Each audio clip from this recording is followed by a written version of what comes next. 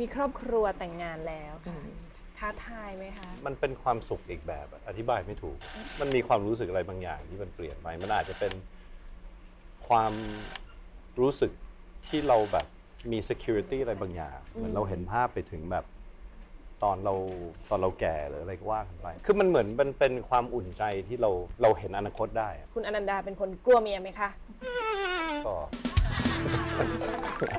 แล้วถามต่อหน้าเมียด้วยนะประเด็น เนี่ยดูดิเหงื่อแตกเลยเนี่ยผมว่าทุกคนกลัวเมียปะกลัวไหมพี่อะเออไม่ไม่ต้องถามพี่สิก็ถามหน่อยไม่รู้อะผมร้อนไปหมดเลยตอนเนี้ยกลัวไหมผมเริ่มรู้สึกว่าแบบทุกอย่างที่คิดไว้ว่าจะพูดนี่ลืมหมดเลยตอนนี้ ก็ ผมว่าความกลัวเมียมันก็เฮลตี้ดี อืมมันก็ดีต่อสุขภาพเราอืมครับเขากลัวไหมไม่ ปกติปกติพี่หนุ่มเหรออ่าแล้วเขาหวานไหมเป็นคนหวานไหมก็มีหวานบ้างมีนิ่งบ้างอะไรเงี้ยนั่นก็เป็นแบบคู่ทั่ว ๆ ไปอะไรเงี้ยอืมแต่นี่วันนี้ที่มานั่งเนี่ยจริง ๆ มาแกล้งนางนะรู้ว่านางเขิน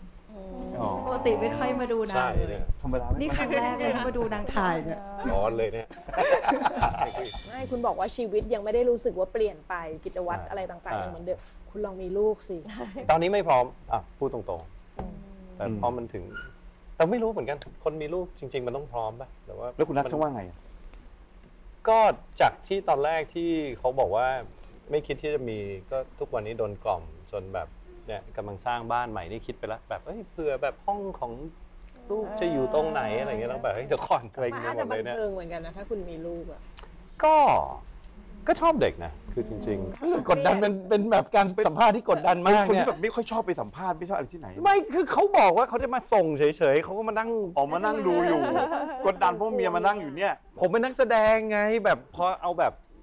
ตัวเองมาพูดคุยอย่างนี้แล้วมันแบบไปไม่เป็นอะ เออเออเออมันเป็นตัวมันไม่ตมีเราบทอะเข้าใจปะเออเออเออคือถ้ามันมีบทมันง่ายไง